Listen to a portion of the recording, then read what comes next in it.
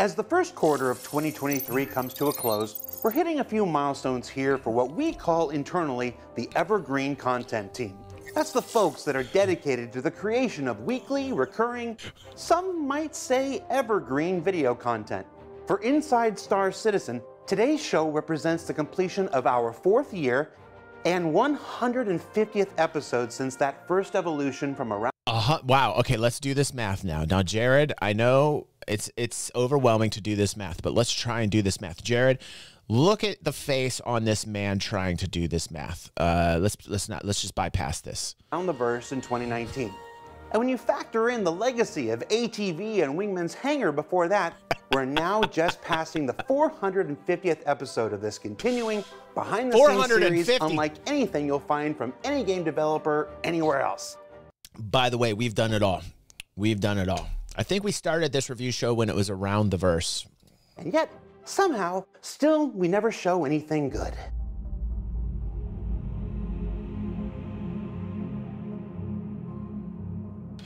It also marks the personal completion for me of eight years shepherding over 1,200 videos showcasing the creation of this project. Even, even that one holiday live stream we don't like to talk about anymore. I'm smelling thumbnail. I'm smelling that this will be the thumbnail. So to sign us off for this quarter, before we go about our regularly scheduled hiatus, we're bringing I think that's back good, an old favorite, I agree, that dude. grab bag of tiny looks at various aspects from all over to. development, the Sprint Report. Now, for those of you who maybe have never seen one of these before, a sprint is what we call the internal two-week cadence where developers go off on a task, come back to check in, see everyone's progress, get some notes, and then either move on to something else or go back for another two-week sprint on the same feature. So, what that means is what you're going to see here this week is actually internal developer art, the kind they don't usually make to be seen publicly. It's not the flashy best and type of humor, somewhat Wind. mentally unstable work of the ISC gameplay capture team, who have been on quite a streak recently, possibly because we changed their medications. So without further ado, let's jump into the Inside Star Citizen Quarter 1 2023 Sprint Report and Clam Bake Showdown. I'm assuming that editorial will put a nice, subtle title on screen right here. Also, there's no Clam Bake Showdown. God damn it. I don't know it. why I said that. Liar.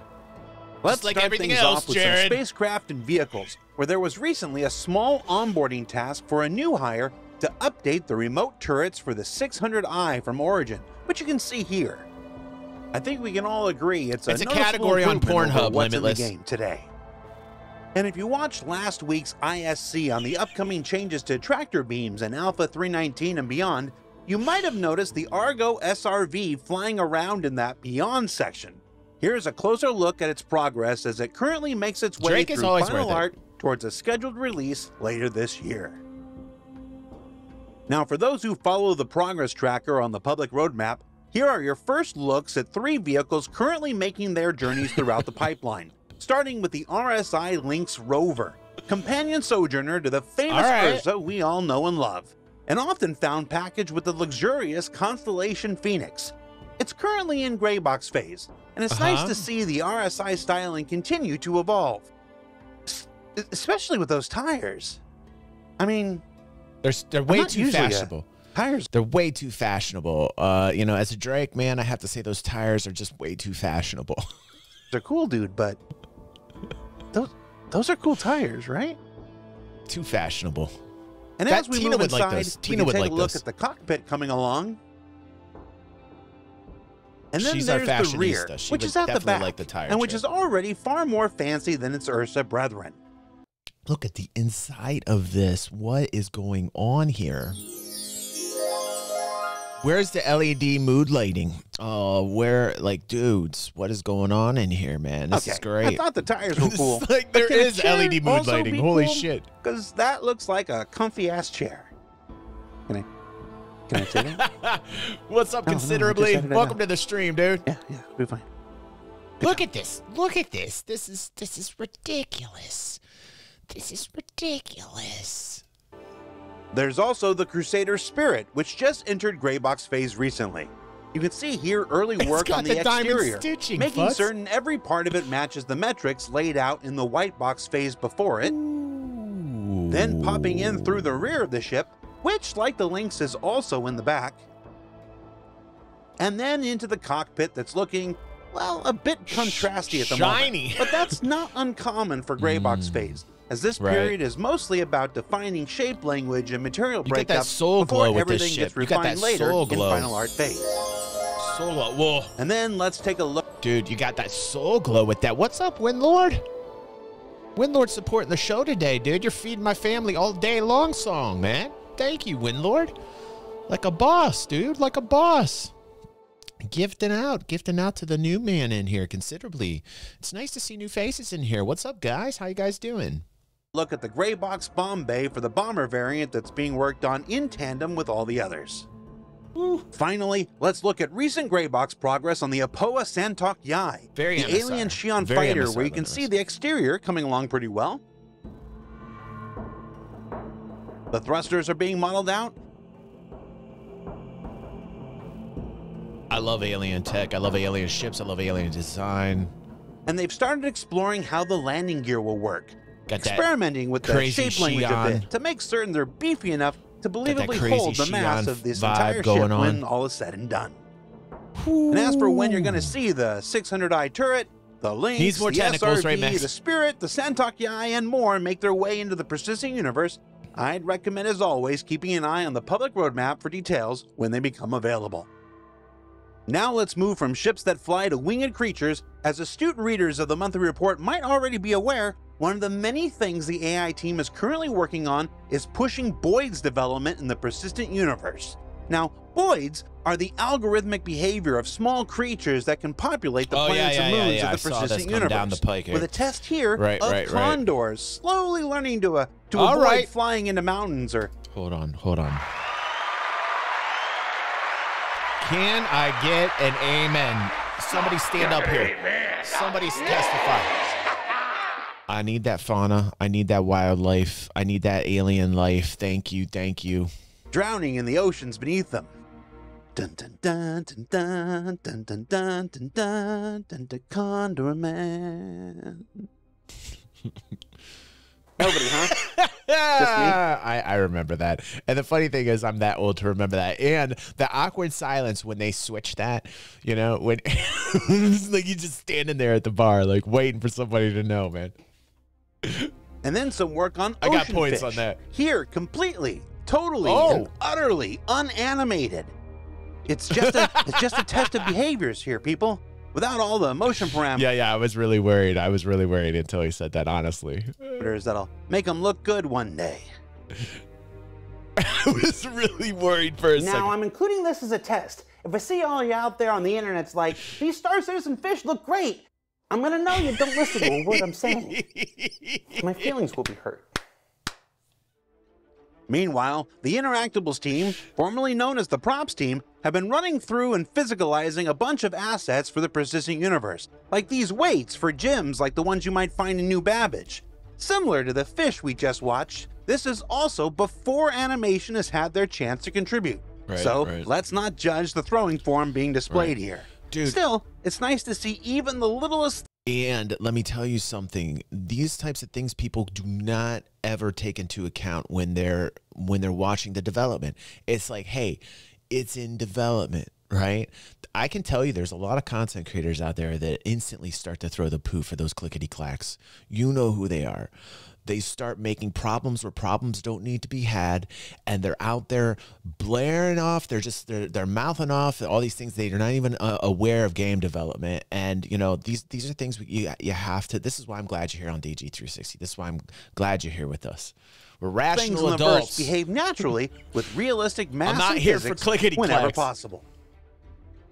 This effort to make things behave as you'd expect them to also extends to the coffee machines of the verse, with a pass recently done to go through and repair their broken functionality. Now, I did consider turning this section into an update on either bartender or mess hall features, just for old time's sake. But someone who will go unnamed stopped me. Just know that there are heroes out there looking out for each and every one of you. Also, it looks like the team developed a few new coffee mugs along the way. There's the Big We'll Bennies. just let this video play for a bit. There's the See Big a Bennies couple mug. coffee cups in action, Mhm. and think about how much bartender stuff I'm not talking about right now. also, speaking of bartenders, if you want some interactables of your own, there's this new set of Star Citizen pint glasses up for pre-order on the, on the, oh on no, on on shameless store. merch. Shameless merch. I, I asked Shameless merch. Hold on a second. Shameless merch plugging. He's shilling. He's doing it on purpose though. It's it's intended humor. It's intended humor. If they wanted me to promote them, and they said no, because you'll probably do something silly and stupid with it. And I said, Dude. leave it with me. And they said, what? No, we said no. And I said, no problem. And here we are. Back to the Interactables team. They've also been What's pro- up? That's my buddy Execute coming in here like a boss with that Viking charge up in here, bringing his runners in. They're running in. They're running in like crazed Vikings. Somebody please offer them gold. Somebody please. Thank you very much, Moth. Welcome to the fam. Grab your chicken suit. It's a little strange. It's a little strange. Just grab the chicken suit. What's up, actual? Runners coming in, flocking to the channel thanks to Execute. Like a boss, they're coming in in droves. Hopefully, not like the fish that we just saw from the Inside Star Citizen uh, show here. Thank you very much for coming in here. Execute. You are a boss. I absolutely love you. Don't listen to, to everybody out there. Uh, you are a gentleman and a scholar. I hear a lot of people say that, that you aren't. Don't listen to them. Thank you. Thank you, Bring. Welcome, Bring a Bar. Br- Bringe Bearer.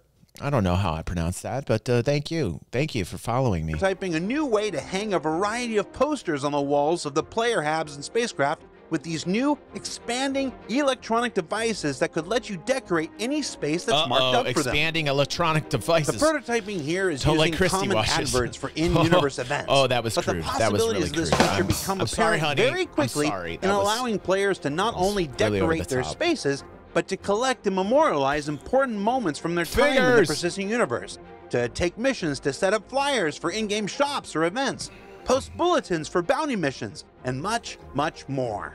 I got I got to answer this because uh, this is great. That one guy, you can tell he's new to the stream. I don't know if he's new to Star Citizen, but I love this question because these are types of questions that make me remember when I first started Star Citizen.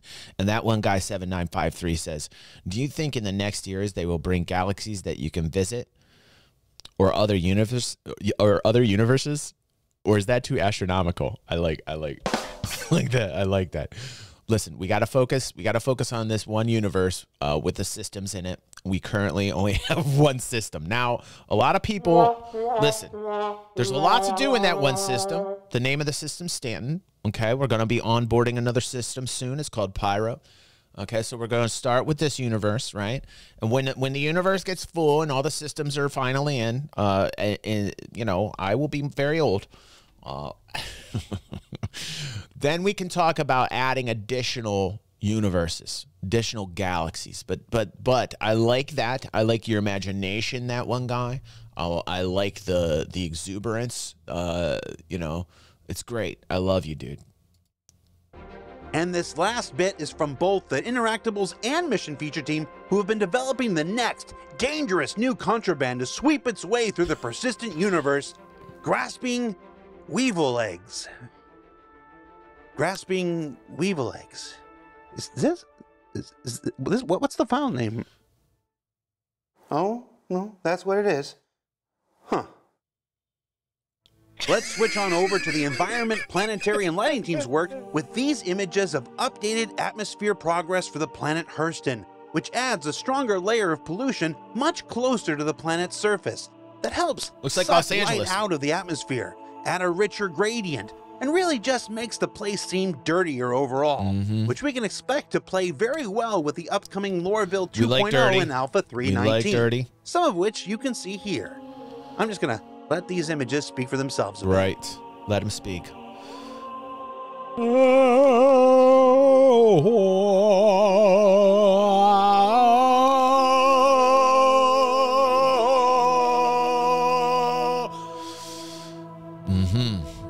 Sun.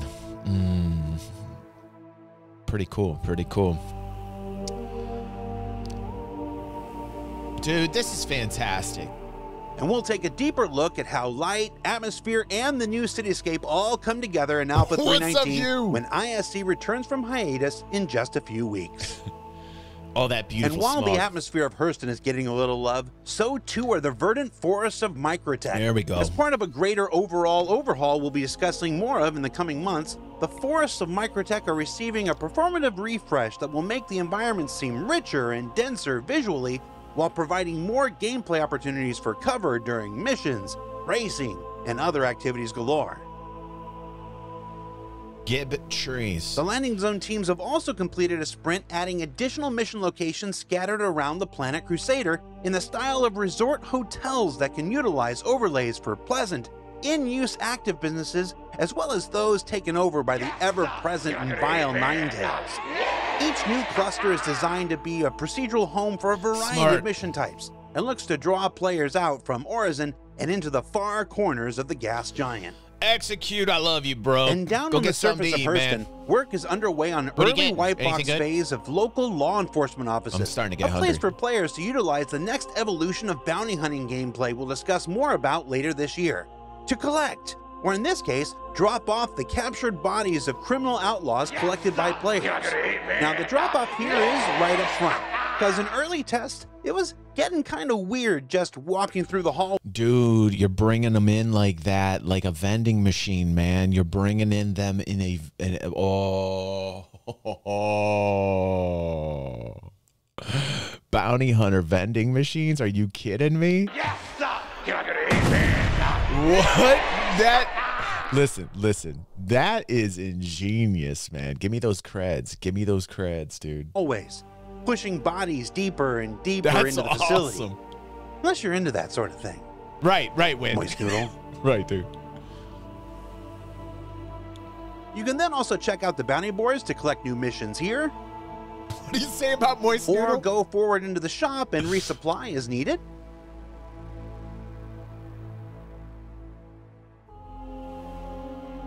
And there's an office for meetings, but who needs more of those in life? And then we bring ourselves to the detention area, where a number of cells can vary from location to location.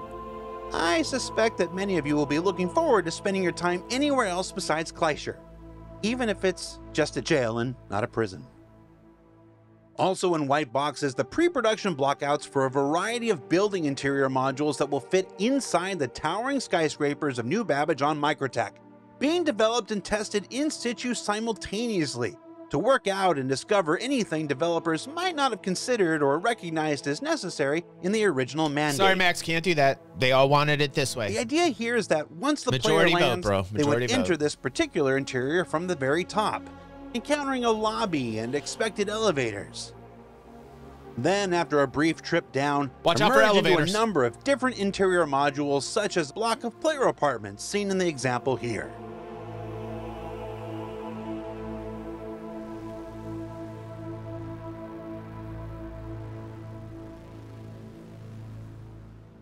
And speaking of modular interiors, the Montreal Tools team continues their work refining the very process used to make locations for the persistent universe, including several sprints on something called the PU Locations tool, a plugin that artists and designers can use to build and iterate modular locations quickly for the various star systems of the persistent universe. What you're seeing here is the PU Locations tool fully integrated into the game editor, where this person has decided they wish to create a space clinic in Pyro.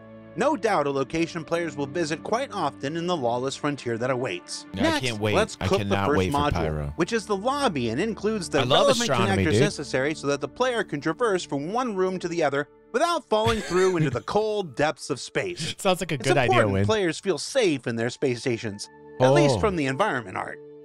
Legal note, this does not extend to elevators, which are a unique curse upon players and Oh, developers alike. elevators. That's for sure, dude. Oh God. Oh God. Oh God. Next is what's called the Universal Room, which is a super fancy programmer term for hallway. They know it's true. We can even change the seed if we don't like that particular hallway and generate another, and another, each one creating the various connectors needed for us to continue building. And then some side rooms, or in rare cases, a rear room, which is usually at the back. Some shops like the pharmacy.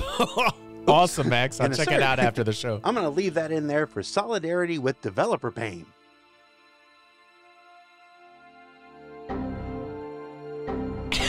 this face, this face.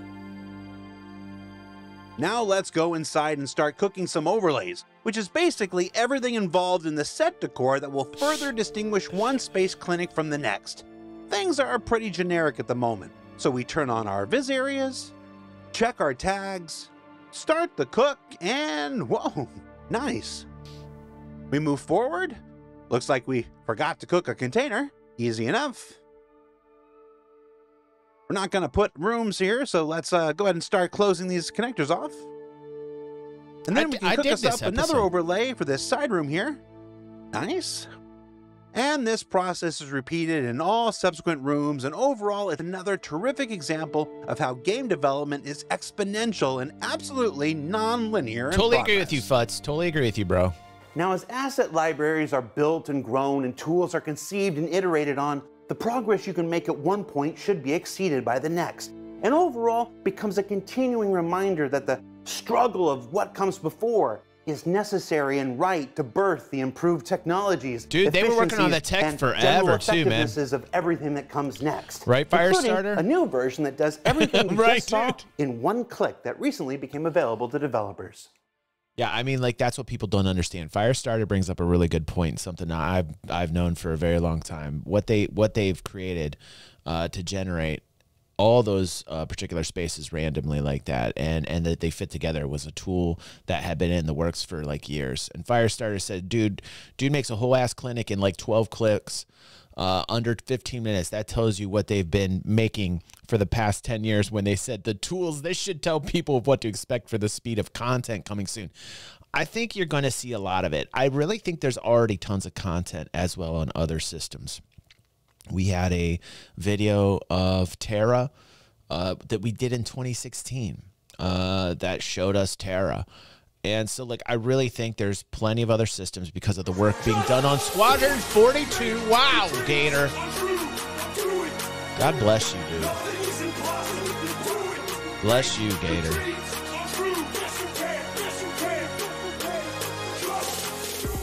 Bless you, Gator. Old school. Gator's old school, man. I love him. He's OG. But these, this tool is going to make things much faster, and they've already implemented it in other systems. Um, and and you know, there's plenty, plenty behind the scenes that we don't know about. We we're only seeing what they're showing us. There's uh, there's a lot of naysayers out there. There's a lot of uh, uh, of content creators that that are making content for the hate bait, so that you click complaining about everything. That will say they don't have anything else under the covers. They do. They do. It's foolish to think that they don't. It's foolish to think that they don't have other things already planned and ready to go. I mean, just because we're not seeing it, they think it's not there. Absolutely ridiculous opinions from a lot of the YouTube content creators out there that probably are, are way too new and haven't been involved with this as long as I have.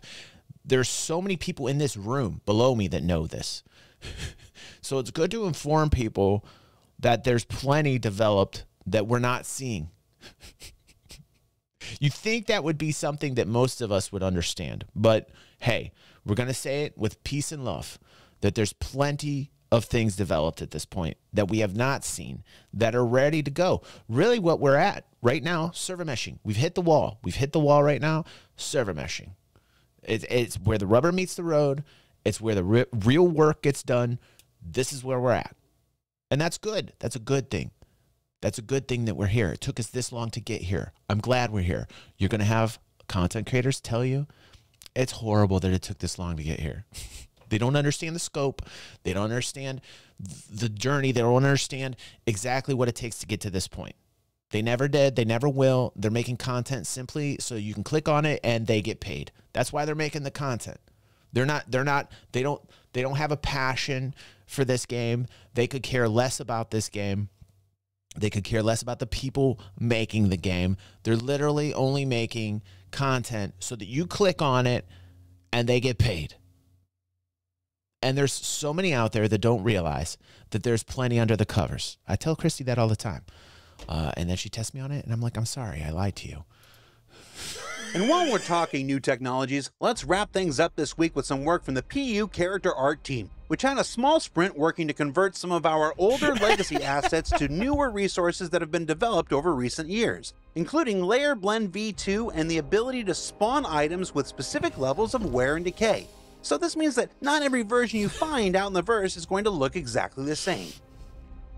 The team is also using the opportunity to discover more chances to further modularize existing armors like the Nomad and Light Outlaw you're seeing here, as well as many more we'll be showcasing later this year. It's part of a continuing effort to add more customization to what you wear in both the new stuff that's coming down the pipeline and what's already there in the persistent universe. And that customization also extends to a variety of tints that can be used for spawning armor variants going, within the universe, which you can see in some early explorations here. This will allow mission and location designers to remember that. specify I remember specific variations of components and tints for different areas, or use procedural tools Listen, Sandy was on his ass about this. Sandy was like, I want to make some garments, some fabric. She was all about the fashionista like Tina is with Star Citizen. We know Tina is. We watch we watch her channel from time to time. We know she's a fashionista. We know she got tricked by Pico. Uh, all the Picos out there, very very deadly, angry alien penguins. Uh, they're very vicious. Uh, do not fall for their tricks and shenanigans like Tina did. Tina likes it. Tina likes the fashionista side of, of Star Citizen. Sandy said, I want fabrics that flow in the wind. And Chris said, God damn it, I will make that happen. And Execute brings up a good point here from InfoRunners. It says, Mr. Roberts himself worked on that cloth tech, but do not forget that the impetus of that was Sandy. Sandy said, I want flowing garments. And Chris said, Oh, son of a bitch, here we go.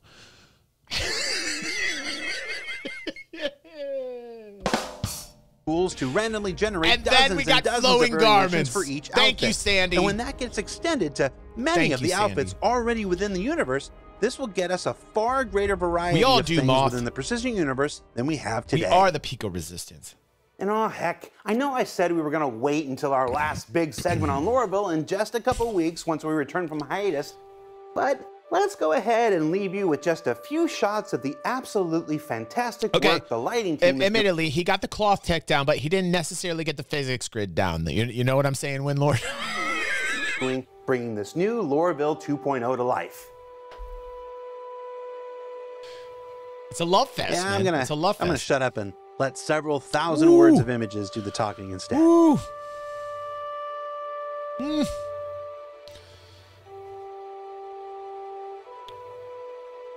It's just gonna keep getting better and better and more detailed. It's gonna get crazy, man. It's just gonna keep getting better and better and better and better, dude. It's it's insane.